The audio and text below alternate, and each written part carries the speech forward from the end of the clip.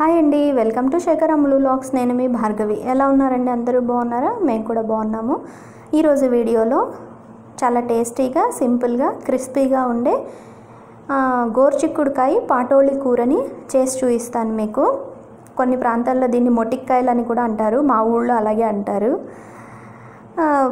వాటిని అటు ఇటు నారలు తీసేసి చిన్న చిన్న ముక్కలుగా కట్ చేసి పెట్టుకోవాలి. ఇక్కడ నేను ముందు రోజు రాత్రే ఒక కప్పు కందిపప్పుని హాఫ్ కప్పు శనగపప్పుని నానబెట్టి పెట్టుకున్నాను.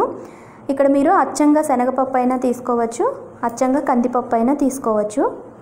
నేను మాత్రం రెండు కలిపి చేస్తాను. ముందు రోజు నైటే పప్పుల్ని కడిగేసి వాటర్ పోసి నానబెట్టి పెట్టాను.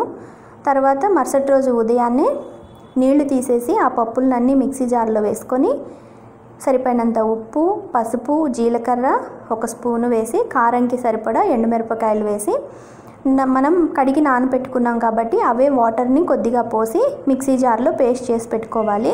ఒక గుప్పెడంత పప్పుని నానిన పప్పుని పక్కన పెట్టుకోండి. తర్వాత ఇక్కడ ఒక ఐదారు స్పూన్లు ఆయిల్ వేసి జీలకర్ర మినప్పప్పు ఆవాలు కరివేపాకు ఇంగువ. పోపు వేగిన తర్వాత మనం గ్రైండ్ చేసి పెట్టుకున్న పేస్ట్ని ఆ పోపులో వేసేసి ఒక్కసారి బాగా కలపండి.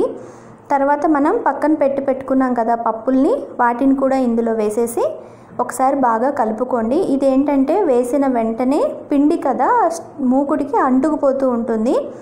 ఏం భయపడకండి చక్కగా వస్తుంది కూర అనేది. కొంచెం సేపు బాగా కలిపేసి చూసారా ఎలా వచ్చేస్తుందో? చక్కగా వేగుతుందండి. దీన్నంతా మూకుడు మీద మనం సదరాలి నీట్గా అంటే ఇలా పరిచినట్టుగా చేసేసి అట్టులాగా మూత పెట్టి కాసేపు స్టవ్ని సిమ్లో ఉంచేసి ఉడికించాలండి. చూసారా ఎంత నీట్గా అంటుకోకుండా వచ్చేస్తుందో గరిటెకున్నది. కొంచెం సేపు మూత పెట్టి సిమ్లో ఉంచి మగ్గించుకోవాలి. ఇది ఇలా అట్టులాగా చక్కగా ఉడుకుతుందన్నమాట. తర్వాత దీన్ని బాగా మనం కలిపేసేయాలి తీసి. స్టవ్కి అం మూకుడికి అంటుకోకుండా చక్కగా తీసి కలిపేసుకోవాలండి. కలిపేసి మళ్ళీ కొద్దిగా నూనె పోసి కొంచెంసేపు మళ్ళీ అలాగే మూత పెట్టి మగ్గించాలి.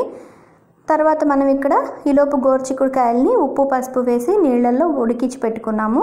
ఆ నీళ్ళు పడేయకుండా చారు పెట్టేసుకోవచ్చు. ఈ కూరకి కాంబినేషన్ చారే చాలా బాగుంటుందండి. ఇందులో ఇలా కొంచెం వేయించుకున్న తర్వాత మనం ఉడికించుకున్న గోరుచిక్కుడుకాయల్ని ఇందులో వేసేసి బాగా కలిపేసి మూత పెట్టి ఒక రెండు నిమిషాలు మగ్గించుకోవాలండి. ఈ కూరని మనం వేయించుకునే ప్రాసెస్లో మధ్య మధ్యలో కొద్ది కొద్దిగా ఆయిల్ని వేసుకుంటూ మనం స్టవ్ని సిమ్లోనే ఉంచుకొని జాగ్రత్తగా వేయించుకోవాలి. కూర అనేది మాడిపోకుండా. ఇలా చేయడం వల్ల కూర కొద్ది కొద్దిగా క్రిస్పీగా మధ్య మధ్యలో మెత్తగా అన్నట్టుగా వస్తుంది.